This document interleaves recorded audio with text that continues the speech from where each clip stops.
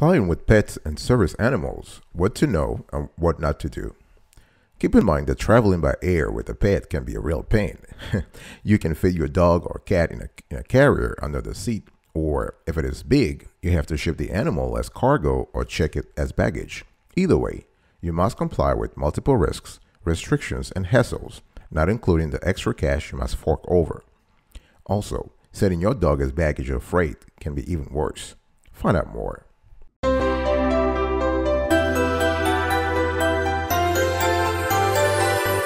Welcome back, folks, to another edition of S'witty Kiwi. How are you doing today? I hope you are doing fantastic. I'm doing marvelous. Today, I want to talk to you about flying with pets and service animals, what to know and what not to do. Let's first define what a pet is. According to the United States Department of Agriculture's Animal and Plant Health Inspection Service, a pet is a privately owned companion animal not intended for research or resale and includes the following animal groups only so we have we have uh, a snapshot on the video for you so you can see it.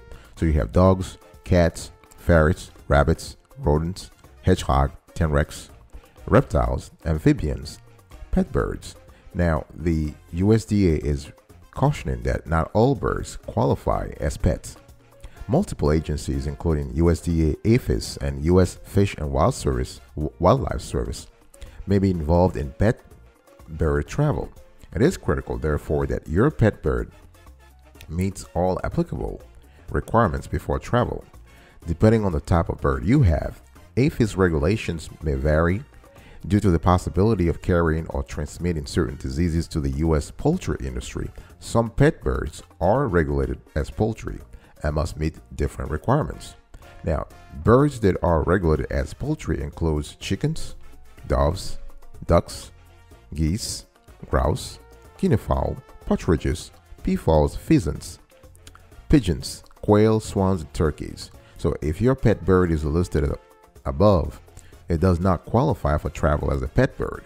You must meet specific import or export requirements for poultry. Visit the APHIS import and export website for live animals to learn more. Now let's talk about pets on board. So if your dog or cat is small enough to be comfortable in a pet carrier that fits under an airplane seat, you can take it with you in the cabin for for a fee, of course. It's usually around hundred bucks or 150. Many airlines also allow rabbits and some household birds, but they don't let unaccompanied minors, children under 18 travel with pets. Your pet will have to stay in the carrier throughout the flight and it will count as a carry-on bag. You can find out the exact measurements of the underseat space from the airline because some airlines are kind of spacious and some are not. So many airlines will rent or sell you a kennel that will fit. You you want to, one thing that's very important if you are planning on traveling with pets, you want to make advanced reservations to bring your pet on board because most airlines will only allow a few animals in the cabin per flight and they make room on a first time, first served basis. Also, you may not be able to sit in certain seats. That's one thing that a lot of people don't know about. But yeah, certain seats, if you are traveling with, with pets, you can't sit in all seats. So don't wait until the last minute and always check the airline's website for its rules on travel with animals. Now, if you have a disability, the rules are totally different. So you, you know the, the rules the rules for flying with service dogs and emotional support animals are totally different. They're more lenient. But either way, you want to call the the airline in advance, make reservation, talk to someone. Don't just send an email and hope that everything will be fine. You need to speak to a live person, get the person's name, have a reference number, and then plan your trip. All right. I'll be right back right after this. Don't go anywhere.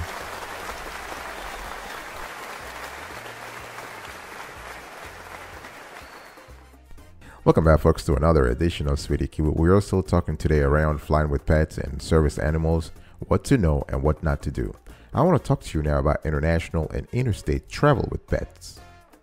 Many other countries, as well as United States, as well as, well as U.S. states, have health requirements for bringing in animals.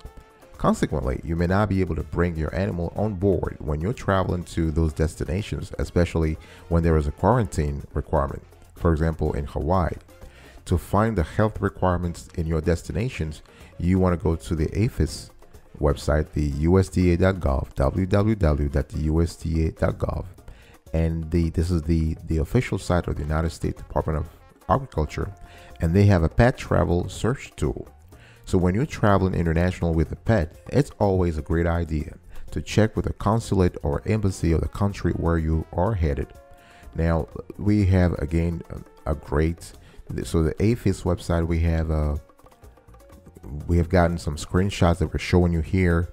And this is basically APHIS the USDA APHIS telling people that not all animals qualify as pets. And this is important because you have to understand that as soon as you know your travel details contact your local vet to assist with the pet travel process factors to consider may include meeting timeframes for obtaining a health certificate updating vaccinations diagnostic testing or administration of medications and treatment. So if you take your pet from the United States to a foreign country, in other words, you're exporting, your destination country may have specific health requirements that must be met before your pet can enter the country. Since export requirements are determined by each country and can change frequently, every time you plan you plan pet travel, you will need to verify the export requirements. Please note that airlines may have separate and additional requirements. So again, you want to go back and check with the airline. The process for taking a pet bird or other exotic animals out of the United States may involve multiple agencies, including USDA APHIS. As I said, they have a vet services there, and you have the U.S. Fish and Wildlife Services. So it is very important that you meet all requirements. Let, us just scroll down a little bit here, as you can see that again, the when it comes to bringing, so this was for export if you want to bring your pet out of the United States. If you need to bring your pet into the United States from a foreign country, the requirements are also different. They might be even stringent. So animals entering the United States may be subject to regulations by USDA APHIS as well as other federal agencies. Depending on your destination state, your pet may need to also meet additional health requirements. So here, if you go to the APHIS website, you, you, you there is a drop down menu. You click, you select the animal. So if the type of animal you're traveling with is not listed, you click on another link so you can see they have a, a long list, a wide array of animals, and I'm sure your animals, your animal will, your pet will be on that list. So if you travel with your pet state to state, this is what the authorities call interstate. So if you want to learn more about the requirements when traveling from state to state you have to go to again to the you have to contact your state veterinarian's office in the destin in the destination state to learn more. Now the authorities are very very clear about one type of pet one category of pets. We're talking here about reptiles. So pet travel bringing reptiles into the united states so here we have another snapshot taken out of the usda APHIS website, and the update is as of June 2nd, 2020. So it's very, it's very, very recent. That's the latest. And um, the thing here is that those animals require extra caution. Therefore, USDA APHIS veterinary vet services does not have any animal health requirements related to bringing importing a reptile to the United States from a foreign country. However, there are a few tortoises that VS pro- prohibits from being imported. The following tortoise species are not allowed to be imported in the United States. So you have the leopard tortoise, the African spur tortoise, and the Bell's hingeback tortoise. The Centers for Disease Control CDC does not regulate the import of reptiles except turtles, tortoises, and terrapins.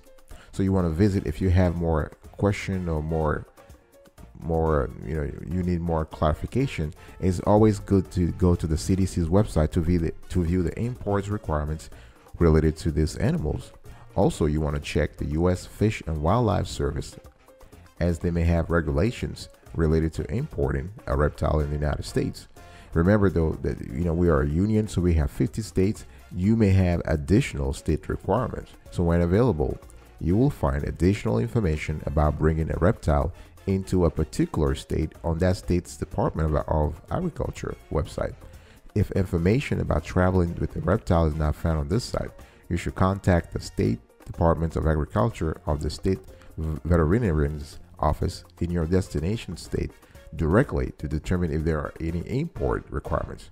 So the thing here is that you have to understand the bottom line is it is the responsibility of the pet owner to make sure their pet has met the entry requirements of the United States because failure to meet these import requirements will result in problems upon arrival in the US and the pet may be refused entry. Various agencies may have regulatory authority over your pet when it enters the United States. It is important, therefore, to notify and coordinate with all responsible government agencies. So if you need, the great thing is that they actually have a phone number here. So if you need clarification of the entry requirements, you can contact the National Import and Export Services by phone at 301 851 3300. So 301 851 3300. We've tried them out and they were very, very responsive. All right, I'll be right back right after this. Don't go anywhere.